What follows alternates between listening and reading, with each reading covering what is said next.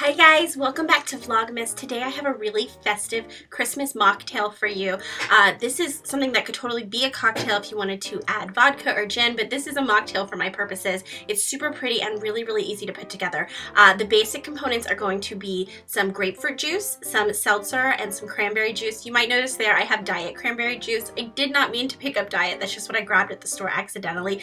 Usually I would get the full calorie cranberry juice, but this will work for what I'm doing. And I've got lime uh, seltzer seltzer there, but any kind of flavor uh, seltzer that you like would absolutely work. And then I also have a bag of cranberries that I froze. I put this in the freezer. It's going to act kind of like my ice. And then I've got some fresh rosemary, which is going to be so pretty. It's going to give you that Christmas tree look. The green with the red, plus the beautiful ruby color of this drink. It's just gorgeous all together.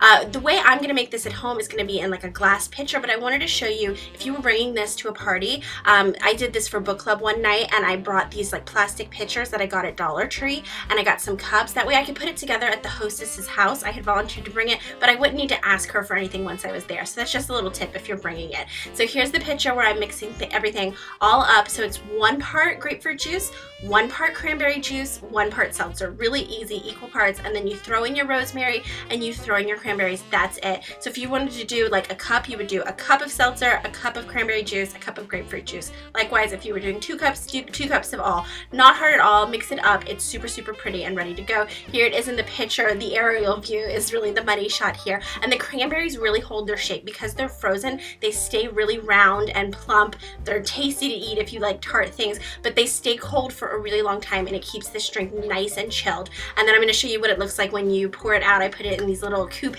glasses. That, is that what you call it? I don't know. So like I said, um, this is a mocktail, but add in your favorite liquor if you want to jazz it up a little. Let me know in the comments what you guys think. Give this video a thumbs up if you liked it and hit the red subscribe button to follow along with Vlogmas. It's almost over, guys. A new video every day this month till Christmas. Thanks for watching. Bye.